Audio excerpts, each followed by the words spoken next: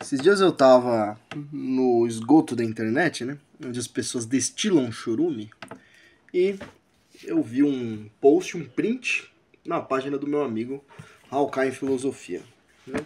Nosso querido Heineken em Filosofia. Certo? E o Hawkai tinha postado um print de uma Instagrammer, uma booktuber, uma, um bucagram, sei lá, o nome que se quiser, né? Perfil de literatura popular do Instagram. E esse post era um post, um reel, sei lá. Eu não vou nem passar o nome da pessoa, porque assim, por um lado, isso daí vai, isso daí vai incentivar os senhores, né, a darem hate numa pessoa. E segundo, que também é o tipo de de coisa que está escrita, né, nesse livro, o tipo de história que apela para uma baixeza da alma humana, né? Melhor dizendo, a alma animal do ser humano, né? A alma carnal do ser humano. É que nem você leu Curtiço, por exemplo. É mais ou menos isso. É, e, né, ele tinha falado sobre esses perfis, né? Eu nem, eu nem lembro que comentário o Hawkeye teceu sobre esse canal. Mas isso me levou a uma coisa que eu venho falando há muito tempo, né? É, era putaria que estava escrito no, no livro, né? Basicamente. Isso veio, me, me lembrou de uma coisa que eu já estava.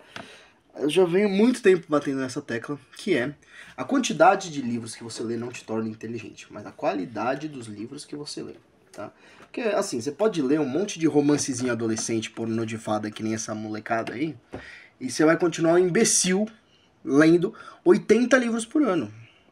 Mas se o único livro que você lê no ano for a Metafísica do Aristóteles, lógico que não é qualquer um que vai, que vai entender esse livro, é, você já vai adquirir muito mais conhecimento, tá? Do que lendo esse tipo de chorume, né? Assim, ninguém precisa começar lendo a Metafísica de Aristóteles. Eu não comecei lendo a Metafísica de Aristóteles, tá? É, eu comecei lendo História da Filosofia, comecei lendo o Manual sobre Aristóteles, o Manual sobre Platão, ambos do Giovanni Reale. Comecei a ler uns diálogos platônicos mais tranquilos, como Refutações a Sofistas, Protágoras, etc. Temas mais tranquilos. E lendo o manual do Giovanni Reale, eu comecei a ter uma ideia das partes mais profundas da filosofia do Platão, e aí eu li a República. Né? Com parte no Aristóteles também, eu comecei com o Tratado da Alma, né? depois eu fui para a Poética, né? li umas partes da Política, é, li o Categorias do Órgão, porque eu tenho o órgão tudo num livro só. Depois eu, eu fui ler a Ética Nicômaco, né? e tô lendo a, a metafísica. Né? A ética nicômaco eu parei basicamente na metade. Né? Eu, eu continuo lendo a ética nicômaco quando eu gravei esse áudio. Né? Então, não, assim, eu não fui de uma vez né, ler a metafísica do Aristóteles. Né? Mas é, é um livro é um livro avançado. Né? Mas é um livro que dá bastante conhecimento, obviamente. Né? E, tá, você não precisa começar por ele, mas assim, é um, é um tipo de pessoa que você olha o padrão de postagem dessas pessoas, ela não teria capacidade nem para ler um livro mais tranquilo como, sei lá, Caminho da Servidão do Hayek, ou Chamado da Tribo do Mário Vargas Llosa, sei lá, ou Abolição do Homem, do C.S. Lewis, enfim, né. E o que eu acho que acontece nesse fenômeno falando no Abolição do Homem, é muito mais parecido com o que acontece nesse livro, né, do C.S. Lewis, que ele fala da educação moderna cientificista manualística, né?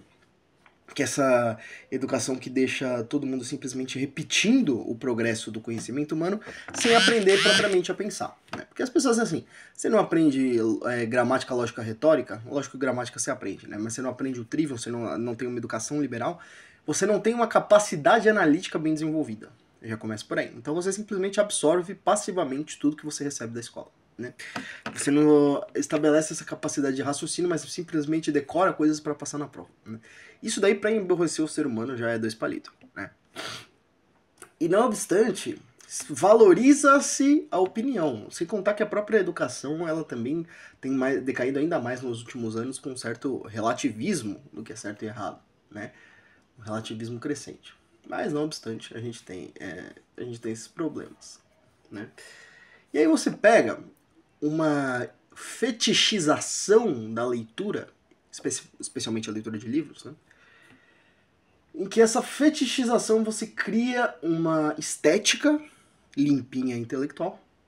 Não tô dizendo que precisa usar uma estética suja, mas você, assim, você foca como estética de, ai, é, livros da não sei quem, blá, leituras de fulana, silcana, beltrana. E aí cria toda uma estética frufruzinha tal, dessas booktubers, né? A Débora já criticou bastante, né? A Débora é booktuber, mas a Débora é inteligente pra caramba. A Débora eu passo pano. É, e ela bate nessa galera, né? Já vem batendo nessa galera há muito tempo, bem antes de mim, né? Já vem falando que essas minas só lê pornô de fada. Inclusive, ela que cunhou o termo pornô de fada, não obstante, né? e fanfics de sei lá o que, qualquer sériezinha da moda de filmes. Então, é, você cria toda essa estética com pessoas que leem um monte de merda e se acham grandes intelectuais por causa disso, mas que tipo, não tem nenhum, nenhuma capacidade discursiva básica, né?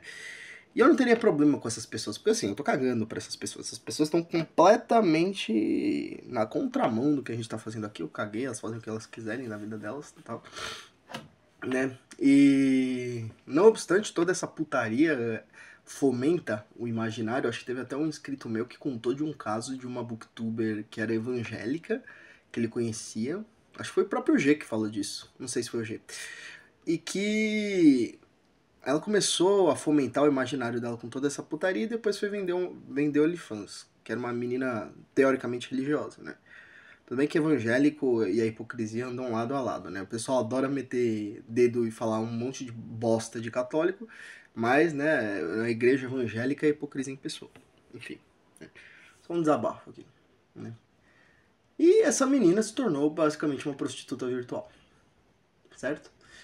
E aí você percebe o impacto que as coisas têm no seu imaginário, quando seu imaginário fica hipersexualizado, né? E como você, se, é, você cede à concupiscência da carne, né? É, quando você fomenta o seu imaginário com essas coisas. As mulheres gostam muito de ler essas coisas. Né? Enquanto os homens nós somos mais visuais e as mulheres mais auditivas, imaginativas e por aí vai. Então ela foi fomentando o imaginário dela com essas coisas, assim como muitos homens viciados em pornografia fomentam o imaginário deles com essas coisas, né? E deu no que deu, foi um resultado, né? Não é uma determinação, mas é uma, um condicionamento. Isso me leva essa reflexão que é a imbecilização travestida de uma intelectualidade. E essas pessoas, por, em certo aspecto, elas são muito mais inócuas e inofensivas é, do que, sob um certo aspecto, do que o imbecil coletivo, né, que é justamente o imbecil acadêmico, né, que depois se torna um intelectual público e passa né, teorias retóricas pseudo-intelectuais para as pessoas e fomentam, basicamente, né, a discussão com essas teorias basicamente. É, falando um monte de, de groselha, um monte de asneira. Mas, por outro lado, ela não é tão inócua quando a gente olha a influência que ela está tendo nos jovens que seguem ela. Né? E aí a gente tem aquela grande pergunta: quem veio antes, o ovo ou a galinha? Será que são as meninas que estão viciadas em porno de fada que vão procurar esse tipo de esse tipo de perfil, que é tudo igual, tudo igual. É que nem japonês, tudo igual. Brincadeiras à parte. É, ou elas mesmas, as pessoas, as meninas estão procurando um perfil de leitura, e elas mesmas têm o seu imaginário afetado por esse tipo de coisa. Porque assim, cara, o brasileiro, em geral, ele não só o brasileiro, mas a massa, o Zé Massa, o Zé Massa, ele adora uma baixaria, ele adora um barraco, ele adora uma putaria. E a mesma coisa serve para essa meninada. Isso é a mesma coisa, né? Então a gente não sabe se é algo que gera mais visibilidade, né? Ou se é uma forma, querendo ou não, de corromper a juventude, né? Se bem que a juventude já se corrompe por si mesma, né? basicamente. Né? Então é, é um fenômeno, no mínimo, bizarro, né? E engraçado. Enfim. É só uma reclamação de velho mesmo, né?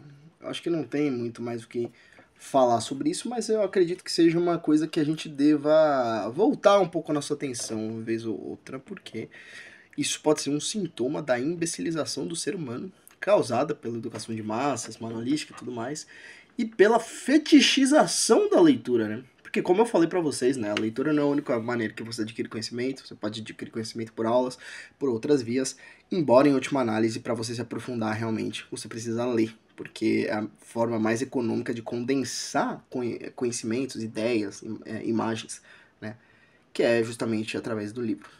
Né, maneira mais barata.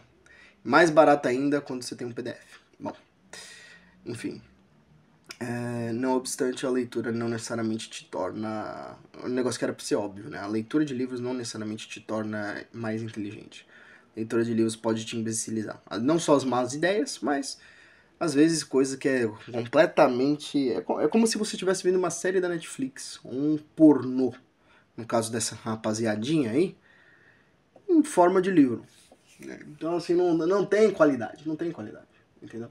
É, é um negócio que é até óbvio que eu deveria dizer, mas simplesmente o fato de você ler não vai te deixar mais inteligente, tá? Eu não vou nem entrar no mérito de pecado contra a castidade, porque isso é óbvio, isso é óbvio, né? Que é uma pessoa que está destruindo a alma dela é, fomentando esse tipo de coisa, né? Mas, como eu não sou uma tia moralista, né? Eu tô mais pra que nem o velho, que eu simplesmente rio da, da imoralidade alheia, é, eu só, só tenho a lamentar, né? Só acho que é triste. E é emborrecedor acima de tudo. É emborrecedor, entendeu? Acima de, acima de simplesmente esse pecado, tudo mais que já é errado per se, é o emborrecimento das pessoas sob a aparência. É sempre aparência, é o foco na aparência, né? Na, sob a aparência de intelectualidade. Tanto que todos esses frufrus, toda essa estética, toda essa perfumaria não passa de aparência, não passa para disfarçar merda com perfume. É isso. Forte abraço, fiquem todos com Deus.